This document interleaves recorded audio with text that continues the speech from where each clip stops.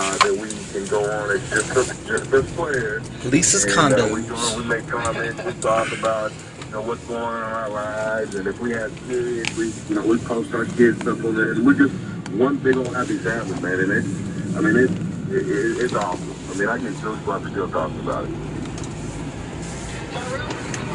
What are you into?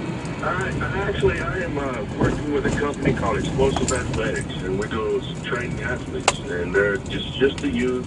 And we have a few collegiate players in there as well, but it's in Norman, and uh, we we train athletes to, to better themselves. I think that's in Lisa's and uh, during the season as well.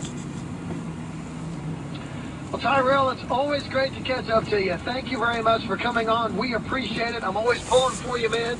Best of luck to you in the future, and uh, we look forward to the next time we get a chance to talk. Tyrell, hey, thank that you. little one on track.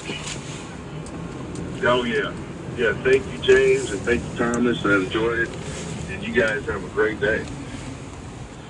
Okay, take care. See you, Tyrell. Bye-bye. Tyrell Peters, the youngest of the Peters brothers to play. Now, I used to kid that the sisters and the aunts and the uncles got into the flag football game, too. They, they were just as good as the guys. Oh, there's no question. that family could run, jump, throw, Absolutely. catch.